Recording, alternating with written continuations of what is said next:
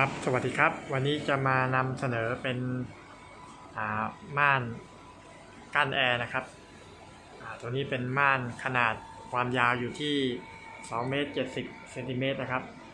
ความสูงอยู่ที่2เมตร70เซนติเมตรเหมือนกันนะครับ ตัวนี้จะใช้ห้องขนาดความยาวที่4เมตร50นะครับ ความสูงอยู่ที่2เมตร70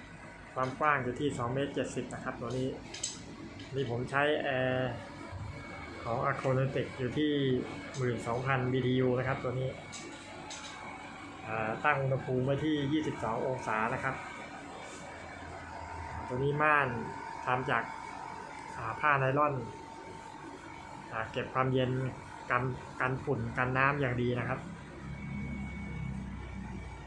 อ่าส่วนคานจะเป็นคานแบบ ไม่ต้องเจาะผนังนะครับ ตัวนี้เป็นคานแบบสปริงนะครับ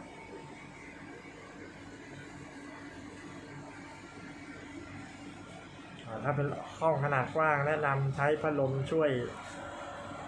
นะครับ จะได้ความเย็นจะได้กระจายทั่วถึงนะครับตัวเทอร์โมมิเตอร์ตัวนี้อ่านอยู่ที่ 28 องศาเซลเซียสนะครับตัวนี้อุณหภูมิที่ตั้งไว้กับแอร์ 22 องศานะครับ สนใจติดต่อม่านกั้นแอร์นะครับ 061 654 6422 หรือเบอร์ 0